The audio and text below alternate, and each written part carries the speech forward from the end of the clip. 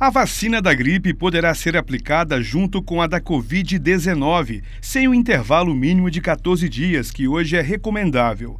O Ministério da Saúde prepara uma portaria para suspender a recomendação de que as vacinas da gripe e da Covid-19 sejam aplicadas em intervalo mínimo de 14 dias. O anúncio foi feito nesta segunda-feira, dia 27, pelo secretário executivo da pasta, Rodrigo Cruz, que responde interinamente pelo Ministério, enquanto o titular Marcelo Queiroga, que está com Covid-19, cumpre quarentena em Nova York. A Câmara Técnica apresentou um estudo que aponta que é seguro e não tem problema nenhum em lançar mão dessa estratégia, afirmou Rodrigo Cruz. Com isso, quem for a um posto a partir de outubro poderá receber as duas vacinas ao mesmo tempo. Segundo ele, a Câmara Técnica avalia que os benefícios da dupla imunização superam eventuais riscos.